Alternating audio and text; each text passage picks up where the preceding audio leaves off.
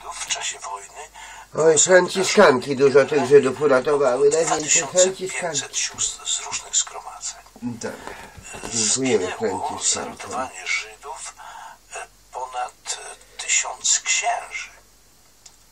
Patrzcie, co na tych księży wygadujemy, jacy to potworni są ci księże, chcą nam obrzydzić przez to, że jeden jakiś tam znajdzie się i wśród księży człowiek, który popełnia błędy, no to wszystkich w jeden worek od razu i, i tak. I, a zobaczcie, co ci księża robią, ileż dobrego w życiu y, w, zrobili ci księża i robią.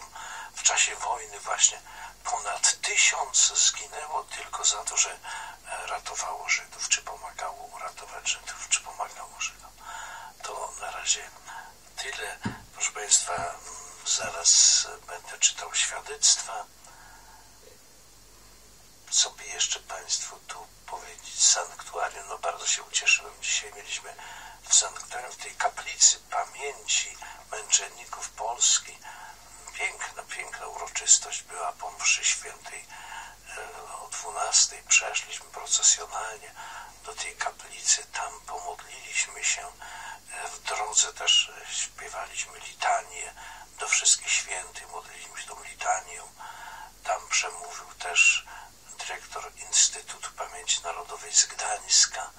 Jutro będzie tu na rozmowach też on i wice, wiceprezes e, Instytutu Pamięci Narodowej IPN-u też będzie pan Szpytna.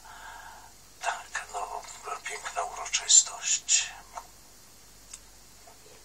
Ponieważ mówię o, o sanktuarium, wspomniałem, tylko co jeszcze w sanktuarium, jakie wydarzenia, może przypomnijmy sobie, powiedzmy też innym. Kochana rodzino Radia Maryja, przed nami wiele wydarzeń w sanktuarium Najświętszej Maryi Panny Gwiazdy Nowej Ewangelizacji i świętego Jana Pawła II w Toruniu, kościele, który jest wotum wdzięczności rodziny Radia Maryja za wielki pontyfikat papieża Polaka. 24 marca w niedzielę przypada Narodowy Dzień Pamięci Polaków ratujących Żydów pod okupacją niemiecką.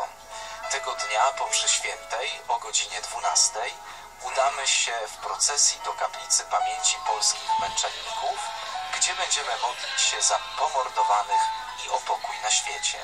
W najbliższym czasie, 25 marca w poniedziałek i 2 kwietnia wtorek, w naszym sanktuarium można uzyskać odpust zupełny pod zwykłymi warunkami. Odpust ten mogą uzyskać także osoby chore i w podeszłym wieku, jeśli włączą się w sposób duchowy do obchodów sprawowanych w sanktuarium ofiarują Panu Bogu swoje modlitwy cierpienia i trudności życia. Msze święte o godzinie 7, 12 i 18. 5 kwietnia przypada pierwszy piątek miesiąca. Jest to również dzień modlitw za wstawiennictwem świętego Jana Neumana za osoby dotknięte chorobami nowotworowymi.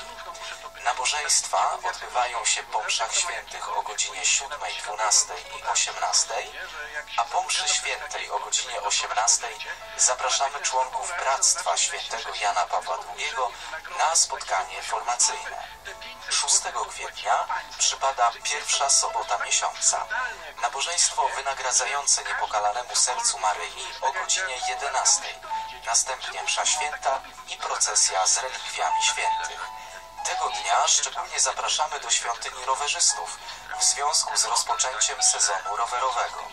W czasie mszy świętej będziemy modlić się o bezpieczną jazdę, a potem odbędzie się poświęcenie rowerów.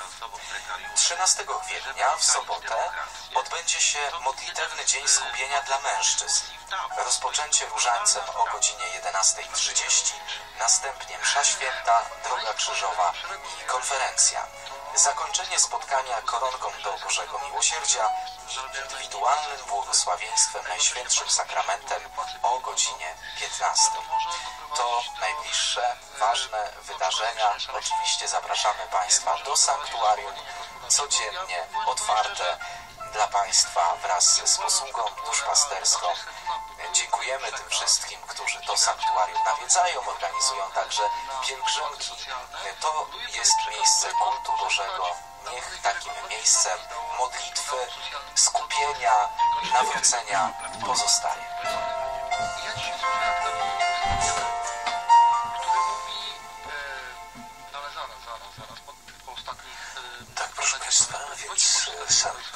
Zapraszamy, zapraszamy i każdemu z Was ta myśmy dedykacja, ty, który wszystko wiesz, śpiewała Halina Frąckowiak.